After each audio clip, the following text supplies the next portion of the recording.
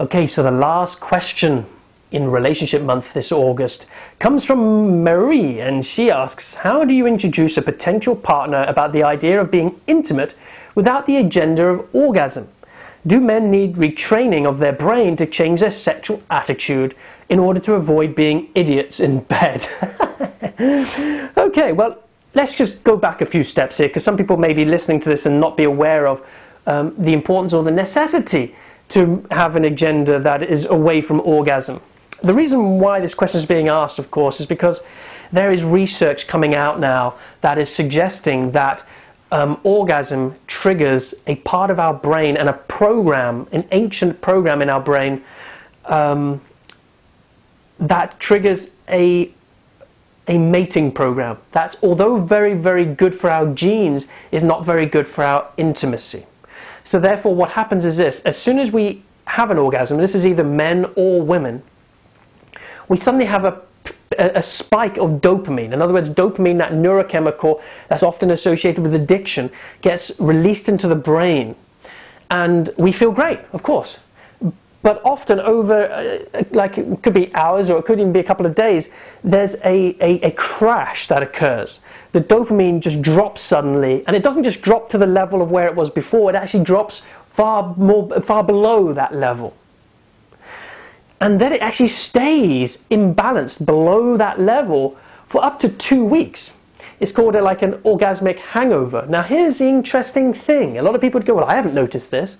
Well, that's because often people, when they're feeling this crash in dopamine, there's this unsettled feeling. There's a sense that something quite isn't right. But it's never something that isn't right with them, it's always something that isn't right with their partner or their world or with life or with the government or you know suddenly they feel like there's not there's something not quite right in life generally they just feel hungry and a bit needy and a bit um, not hungry literally i mean hungry as in well it could be literally but i mean it's a hunger that is they need another fix whether it comes from eating whether it comes from working excessively whether it comes from having another orgasm um, that, that imbalance that low dopamine state is consistently causing people to become greedy, defensive, and irritable. And if you're in a relationship, it's usually projected onto the other. So if you're a man, you may feel like really irritable about everything that your partner does, and you kind of crave release from it. You just want to kind of like have space from your relationship. Whereas women can get a little bit grabby and needy and a little bit emotionally hypersensitive. That is, they lose the balance of their emotional center in, the, in those periods of um, orgasmic hangover. And because usually they have an orgasm, usually more than once every two weeks, it stays perpetually like that. And then they start thinking something's wrong with the relationship. When there's never something wrong with the relationship, it's not the relationship that's wrong, it's just the fact that you're triggering a mating program um, that is very, very old. Now, why does a program like that exist? Well, you've got to remember uh, that part of the brain wants us to have sex, deliver our seed, and get the hell out from the masculine's point of view, it wants to actually separate itself after orgasm. Why? Because then it can make itself available for other partners, which then allows you to then spread your seed further. It offers genetic diversity and better immunoresponses.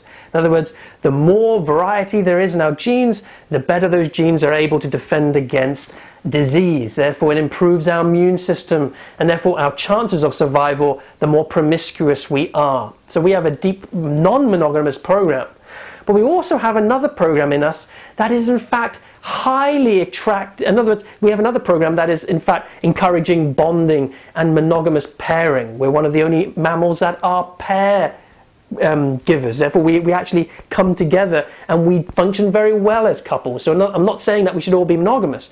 I'm just saying that if you activate one program you're going to always have either promiscuous uh, thoughts um, or you're going to get very going down an addictive pathway.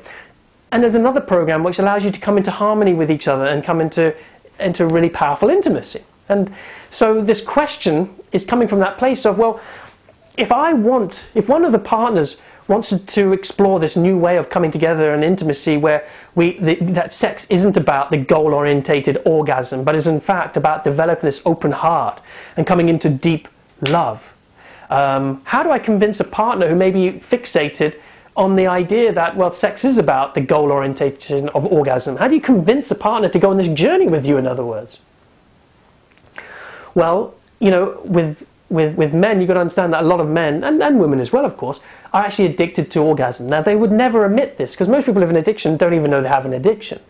Um, but the consequences are very, very subtle as well. Remember, every time the subconscious doesn't feel at ease, it never feels dis-ease within itself, it always projects. In other words, you know when you are not doing great, when you start seeing the world as not quite okay.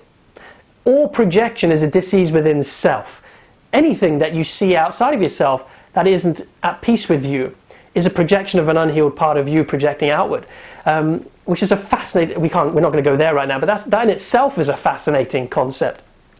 So, how do you convince a man?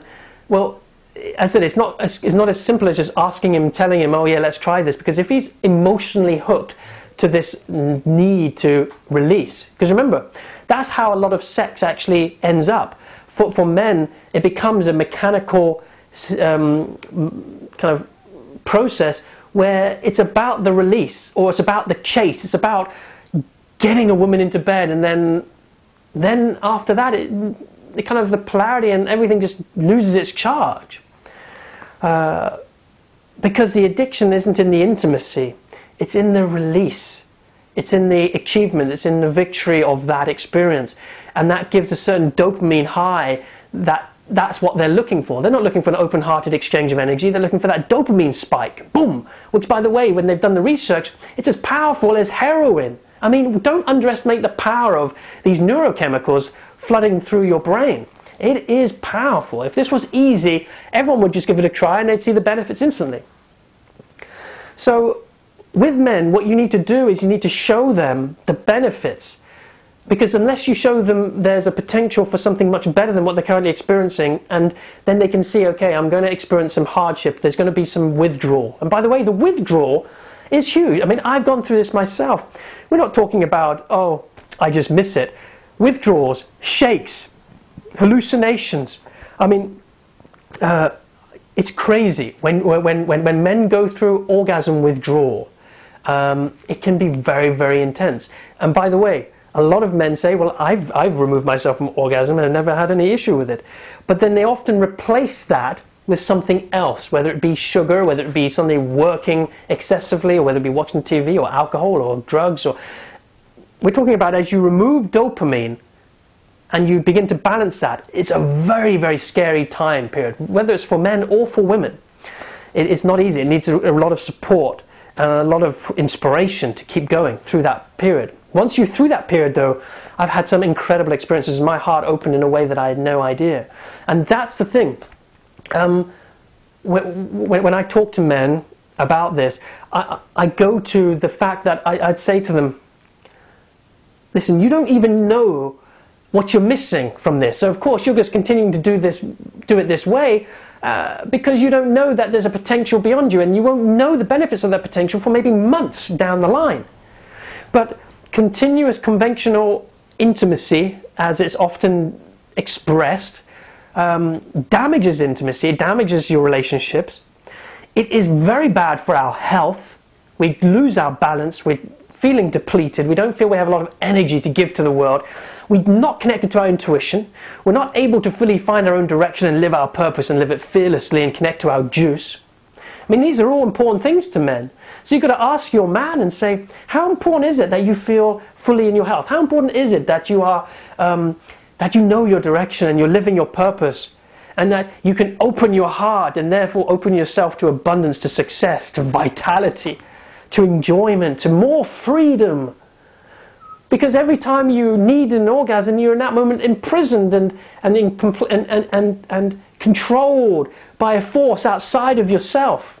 You're giving your power away to the need of that mating program built into your hind brain. So I don't have a direct answer that would instantly convince a man. I hope what I've shared with you um, inspires you to give it a go, though. Um, but to be honest, Marie, men come into this when they're ready. Show them this video. If he says, oh, this is ridiculous and silly, you know it's not his time. You then have a choice to just accept that and be with that, or you find somebody who actually does want to play and is willing to look at this and take this seriously and give it a go. there's nothing to lose and there's absolutely everything to gain. So, with that, I will close this month's relationship question month. Um, to this wonderful question. Thank you, Marie. And if you've enjoyed this, please leave a comment below. Please share this with your friends through Twitter and Facebook. And if you enjoyed this and you want to take part in our courses and our events, which we go into this with far more detail and we share and go through the process, both for men and women, singles or couples, just go to loverelationshipsandyou.com. Thanks for your questions. And if I didn't get to your question this time, don't worry, I'm going to keep them all. I'm going to make sure that I attend to those questions as part of a new program that I'm going to be creating. I'll make sure that I address them all in there. So, with that, take good care of yourself, and I will speak to you soon. All the best. Bye bye.